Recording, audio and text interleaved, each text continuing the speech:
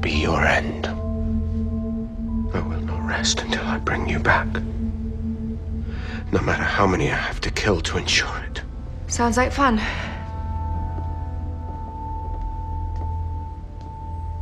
I could do with a bit of murder and mayhem.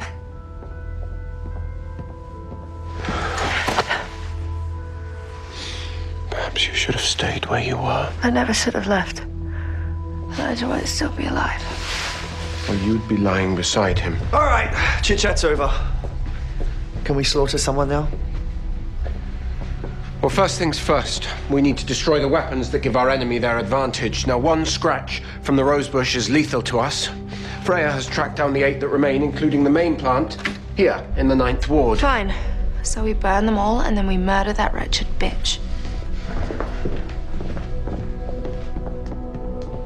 Lethal thorns, resurrected witches. What could possibly go wrong?